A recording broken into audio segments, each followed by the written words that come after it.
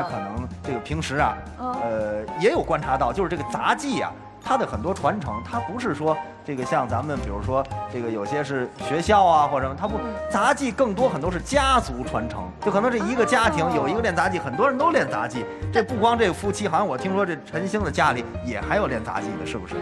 啊，对，有，啊谁呀？呀？嗯，我妹妹你妹妹？啊，妹妹练什么项目呢？啊，我妹妹其实也是登记的一种类型，啊但是她是轻登，青灯。对对对，青灯是灯什么呢？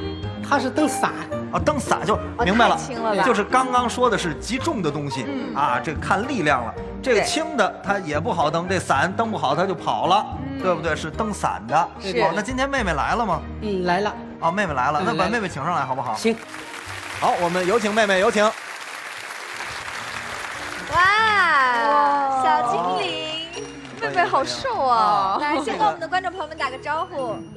好，大家好，主持人好，我叫陈玉，我是陈星的妹妹。啊，陈玉，哎，一看这个身材啊，就比较瘦小，这就看出来这个嫂子是重灯啊，这个妹妹是轻灯啊。接下来一个问题啊，咱就开始表演了啊。这个问题比较难啊，得问陈星了啊。你觉得是妹妹的水平高，还是老婆的水平高？请作答，这是一道送命题。嗯这个这个好难回答啊啊，这个只能说，嗯。嗯，各有各的优点嘛，各有千秋，然后两个节目的风格也不太一样。啊，对嗯。我老婆这个，她属于一个一个就是视觉感觉比较比较好的一个，嗯。她这个就感觉就是挺唯美的一个东西，特别漂亮，很嗯漂亮哦。对对对，特别唯美的一个。好吧，那好，我们看到这个陈星表现出来了极强的求生欲。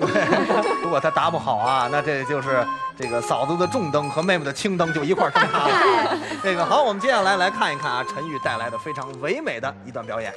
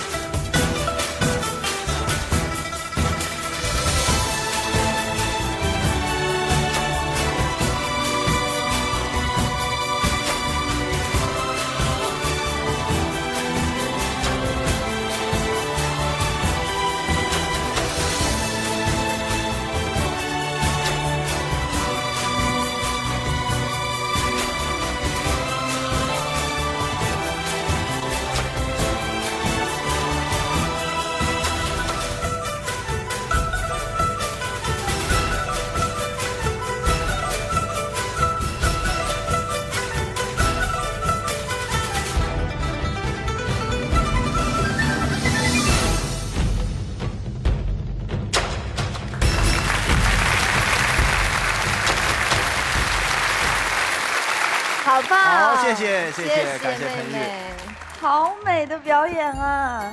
哇，这青灯跟重灯的风格完全差太多了一下就到了柔美的江南的那个感觉啊！是这个下着雨，一个卖伞的小姑娘，那呃不是，啊！